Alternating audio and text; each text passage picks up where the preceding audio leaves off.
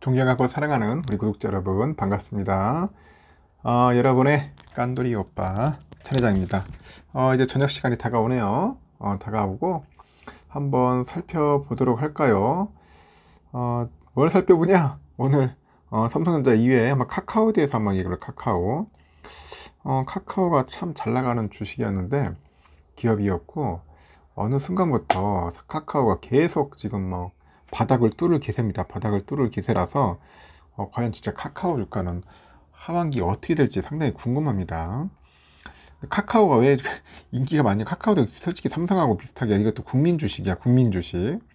이 국민주, 이 국민주만 되면은 영 재미가 없어요. 어, 영 재미가 없고, 어, 여러분 아시다시피 주가가 잘 안 올라 또 어느 순간부터 국민주가 되기 시작하면은 이게 참 문제예요. 그래서 보니까 같은 개미들도 뭐 국민주를 설계 썩안 좋아합니다.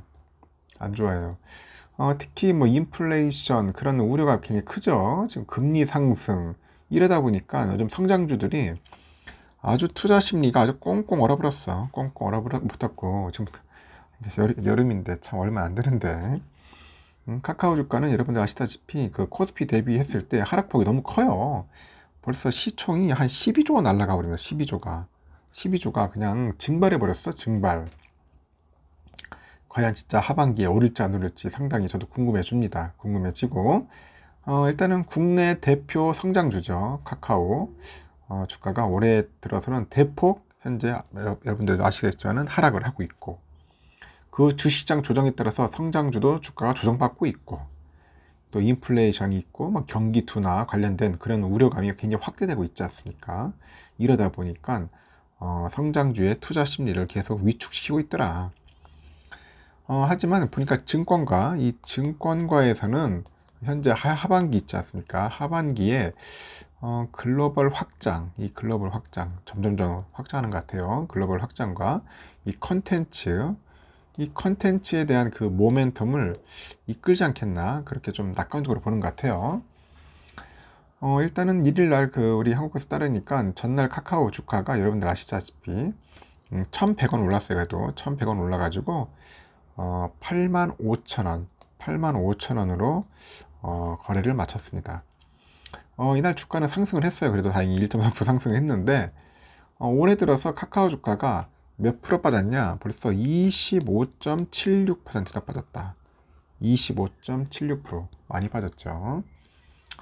어, 주가는 상승을 했는데 올해 들어서 카카오 주가는 거의 25% 빠졌고 하여튼 같은 기간 코스피가 어, 10.13% 하락한 거에 비교하면은 어, 하락폭이 거의 두 배 이상이에요 두 배 이상. 어, 코스피보다도 더 많이 빠진 게 어, 카카오 주가더라. 지난해 말 그 카카오 시가총액이 50조 1,500억이었어요.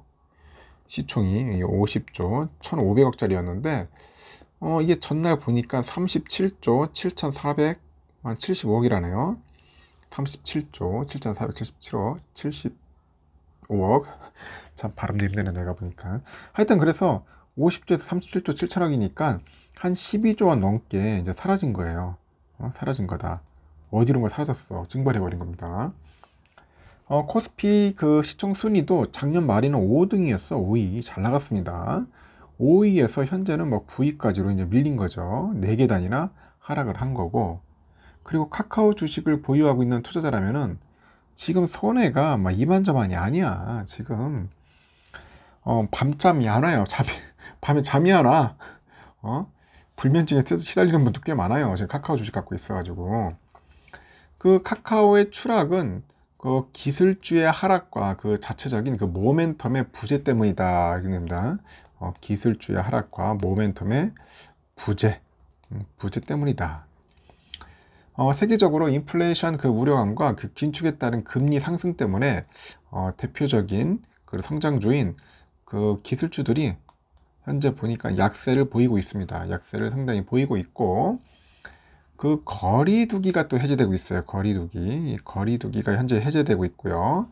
어, 각종 활동이 이제 비대면에서 이제 대면으로 비대면에서 대면으로 이제 전환되다 보니까 이제 성장성이 이제 그 약화되는 전망이 있어요. 성장성이 약간 악화되는 전망이 어, 확산되는 것도 어, 플랫폼 업계에 악재가 되고 있다. 그렇게 보는 것 같아요.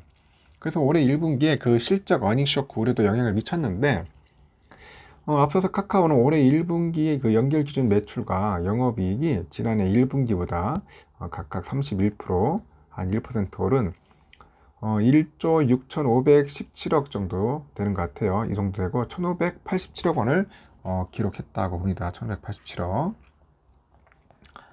어, 이는 그 시장 전망치를 각각 5.1%, 1.8% 하이한 수준인데 어, 영업이익률도 줄어요. 지금 보니까 영업이익률도 줄었다. 그래서 카카오의 지난해 1분기 영업이익률이 어, 12.5%에 비했던 것에서 올해는 1분기 벌써 9.6%에 불과합니다. 어, 영업이익률 상당히 좀 줄고 있다. 뭐 규제까지 도 한몫을 하는 거예요. 규제. 어, 각국 정부가 이제 거대한 거대해진 그 플랫폼 업체들을 규제하기 위해서 시작하기 위해서 이제 시작하면서 인터넷 업종의 주가는 현재 조정을 받고 있는 겁니다. 이 규제 때문에 상당히 또 피, 피받죠. 굉장히. 네이버도 마찬가지겠지 뭐. 근데 하여튼 카카오가 좀 타격이 컸어요. 너무 문어발식으로 키웠기 때문에. 어, 하지만 전문가들은 또 하반기를 다소 뭐 낙관적으로 보고 있다고 하는데 하반기를 어, 일단은 그래요. 지금 어, 지난 1년간 주가 조정이 충분하다. 1년 동안 주가 조정이 충분했고 하반기 이후, 이후에는 어, 글로벌 시장이 이제 확장되고 이제 컨텐츠에 대한 그 가치가 어, 부각될 거다. 그래서 이제 좀 낙관적으로 보고 있는 사람도 있어요. 어, 상반기 실적 이미 바닥권을 형성한 만큼 이제 주가는 하반기부터 어, 반등할 것을 기대한다는데 어, 특히 뭐 웹툰, 뭐 메타버스, commerce, 뭐 블록체인 등 이런 주요 성장 사업들의 글로벌 진출이 이제 본격적으로 이제 확장되고 있겠죠. 본격적으로 확장되고 어, 이들 사업의 성과, 이 성과가 이제 부각되면서 어, 주가도 동반 상승되지 않겠나. 뭐 그렇게 보는 것 같습니다. 그 카카오는 그 모빌리티, 게임, 뭐 블록체인 등 어, 글로벌 서비스를 확대할 계획이고요. 어, 베트남, 뭐 필리핀, 말레이시아 등 7개 국가에서 그 택시 서비스를 확대 오픈을 했다고 하네요. 보니까. 게임은 그 오딘의 그 대만 성공 이후에 어, 일본 및 글로벌 진출, 진출을 현재 준비 중에 있고요. 어, 글로벌을 겨냥한 다수의 신작도 현재 준비하고 있다. 어, 그런 이야기도 있습니다. 그러니까 또 웹툰이나 웹소설은 그 만화와 도서 시장을 디지털하면서 어, 작가하고 유저 그 풀을 동시에 확대를 하고 있어요. 지금. 그리고 전체 컨텐츠 시장 기격을 약간 키우는 역할을 하고 있고 어, 특히 웹툰 보니까 단연코 카카오가 올해 가장 많이 집중하는 사업이라고 합니다. 웹툰은 그 전사 성장률을 큰 쪽으로 큰 폭으로 웃돌면서 크게 성장하고 있는데 어, 빠르면 올해도 올해나 내, 늦어도 내년에는 이, 기업, 이 기여도 가능한 사업으로 미리 보는 것 같아요. 이 기여도가 가능한 사업. 음, 웹툰 쪽을 많이 보고 있더라. 그 중장기로 볼때그 웹툰 그 지식 재산권을 활용해 가지고 어, 2차 저작물 시장 일부도 어, 잠재 시장으로 가져올 수 있을 것이라고 예상하고 있고 어, 현재 카카오는 뭐 톡비즈, 모빌리티, 페이, 게임을 비롯해서 어, 주요 사업들이 이제 하반기 성장 모멘텀을 풍부하게 보유하고 있고요. 어, 1분기 마진을 고려했을 때 연간으로 약간 double digit 정도 보는 것 같아요. 더블.